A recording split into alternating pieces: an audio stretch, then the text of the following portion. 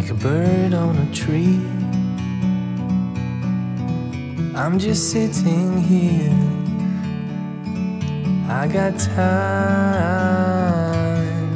it's clear to see. From up here,